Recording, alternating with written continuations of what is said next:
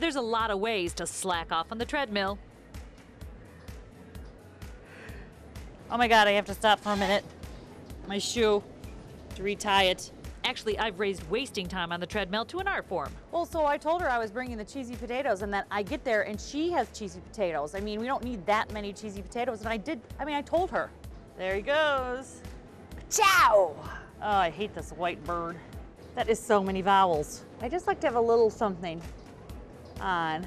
A little lip gloss, you know. Hey, I think I went to high school with that guy. Do I look older? He looks older, right? I think it's so nice that J-Lo and Marc Anthony are still friends. I think it's tendonitis a little bit. It really hurts. Oh, my God, I'm sweating. Gotta hydrate. This water is not cold enough. I'll be back.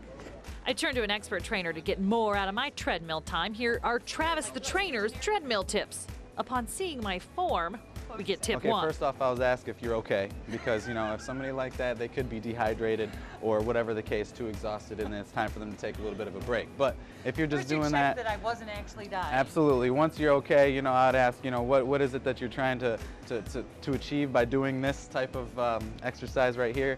And then, and if I would ask you that, you would tell me I what? would say I would like to um, just be even more smoking hot than I am right now. That's right, hands off the machine. They stand straight up, so we're not taking off all that. Take your hands off of them pedals and just go ahead and if you want to stay at that pace, this is how you're going to want to do it, okay? Don't be slouching over and don't be don't be trying to get a break if you need Then go faster and get that heart rate up. Get going at that pace comfortably for about, you know, a minute to 2 minutes. Once you're there comfortably, I want you to go ahead and up that speed to uh, maybe a full point extra. So if you're at 3.8, try to go up to 4.8, see the difference. Travis the trainer says fast and then slow again for the entire workout. Absolutely. Up and down, heart rate up, heart rate down, heart rate up. What we like to call interval type training.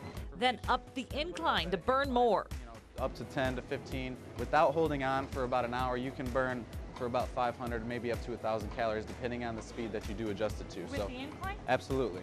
And here's an idea walk backwards. And I'm going to bump your incline up a few points, okay? okay. I'm just going to go up to five right now.